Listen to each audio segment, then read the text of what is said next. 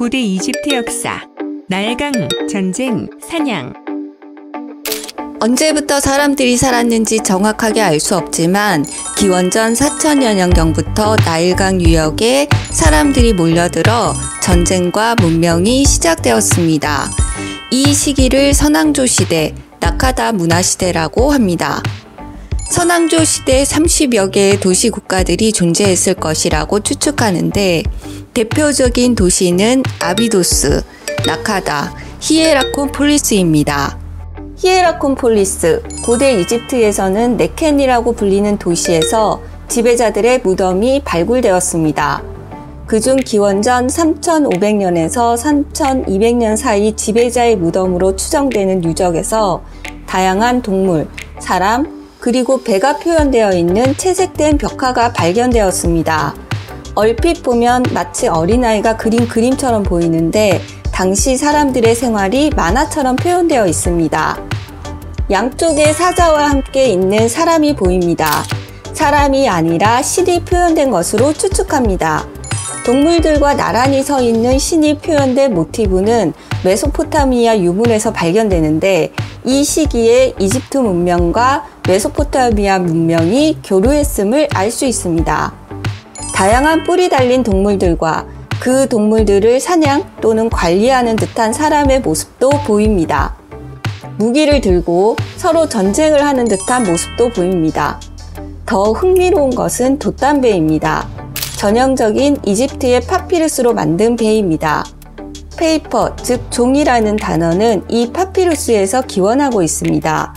종이를 만들기 훨씬 전부터 이집트 사람들은 파피루스로 밧줄, 가방, 의자 등 생활용품을 만들었고 더 나아가 배를 제작하기도 했습니다.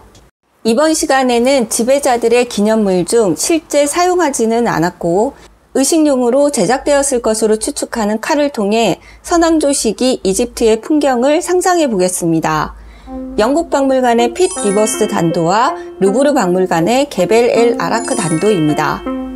나일강 주변에서 흔히 구할 수 있는 황색 돌이고 손잡이는 코끼리의 상하입니다.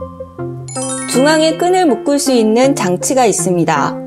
유물의 이름은 당시 박물관이 구매한 구매처나 판매상이 발견했다고 얘기하는 지역으로 붙여진 이름입니다.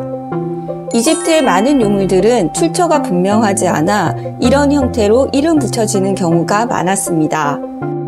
먼저 영국 박물관의 핏 리버스 단도를 살펴봅니다.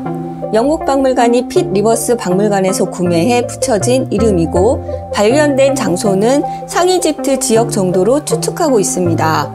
칼날의 한쪽 면은 물결 문양이고 다른 면은 어떤 것도 조각되어 있지 않습니다.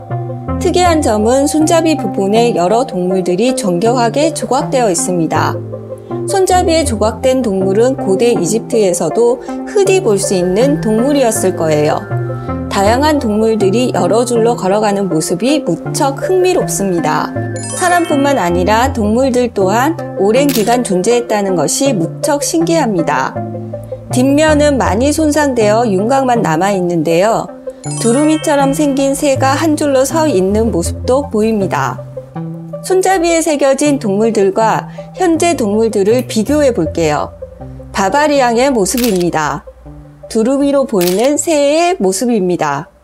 5천여 년 전 나일강 주변에 살았던 동물들의 모습이 현재의 동물들과 비슷하다는 것은 신기한 일입니다. 루브르 박물관의 게벨 엘 아라크 단도입니다. 당시 루브르 박물관에 이 유물을 판매한 고물상이 게벨 엘 아라크에서 구매했다고 해서 붙여진 이름인데 게벨 엘 아라크에서는 비슷한 유물이 출토된 적이 없습니다. 아비도스에서 출토된 유물이 아닐까 추측하고 있습니다. 칼날은 핏 리버스 단도와 마찬가지로 한 면에만 물결 문양이 조각되어 있습니다.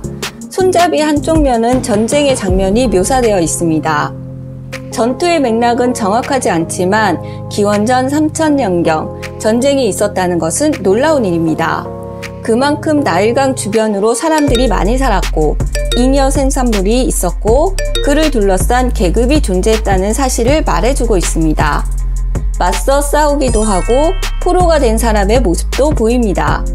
히에라콘폴리스에 표현된 돛담배와 비슷한 모양의 배도 조각되어 있습니다.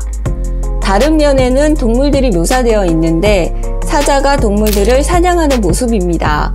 핏 리버스 단도보다 좀 더 선명하게 남아있는 동물들의 조각 위로 두 마리의 사자를 양손으로 제압하는 사람이 보입니다. 히에라콘폴리스에서 비슷한 모습이 있었습니다.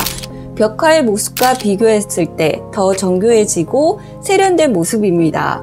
남성의 옷과 머리 장식이 메소포타미아 지역과 비슷함을 알 수 있습니다. 다음 시간에는 최초로 상하 이집트를 통일한 초기 왕조 시대로 떠나봅니다. 재밌게 시청하셨다면 구독과 좋아요를 눌러주세요. 그럼 다음 시간에 다시 만나요.